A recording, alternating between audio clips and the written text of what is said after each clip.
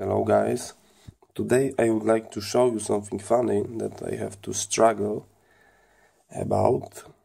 So over here I've got a digital thermometer which looks like this and it's using a very popular type K probe.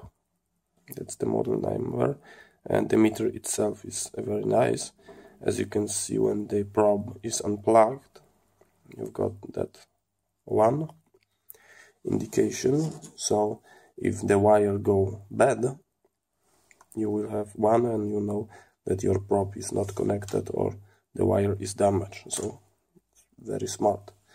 But I start to making measurements and I start getting like weird results. Results that are not accurate. And I was start thinking what's going on? I'm touching with my hand and something is telling me that's that's not the right temp. So what happened? And what happened is our Chinese friends did something like that. That's what our Chinese friend make.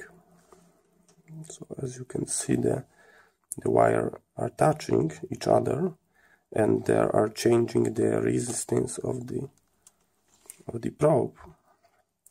So from that you have different results. Okay because it's, it's touching a little bit and as you can see it's affecting the so over here you've got maybe a good temp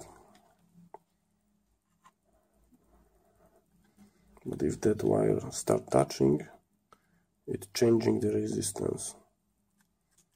So that's how it looks like. So yes. If you have any problem first of all open that. If you buy that from China because it's a very nice probe you can put it in the liquid but the quality it's terrible. So I very recommend you just opening that and fixing that maybe even solder to the to the terminals which I will do. So to get a better connection I decided to solder. As you can see I shorten the, the wire so the sleeve doesn't fall out and it's protected from twisting them. They are too short. And let's try to screw it back. And let's check the the temp. Okay. Let's screw over here. And over here. Okay the positive is over here. The positive over there. And I think that that's quite accurate. I think there might be a half Celsius degrees of the error on the room temp. I will check that. So this is not a, a very good test but I think it's quite accurate so as you can see. Less than half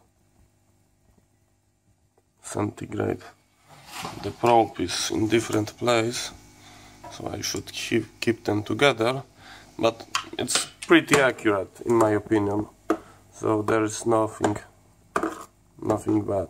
So thank you very much for watching and bye bye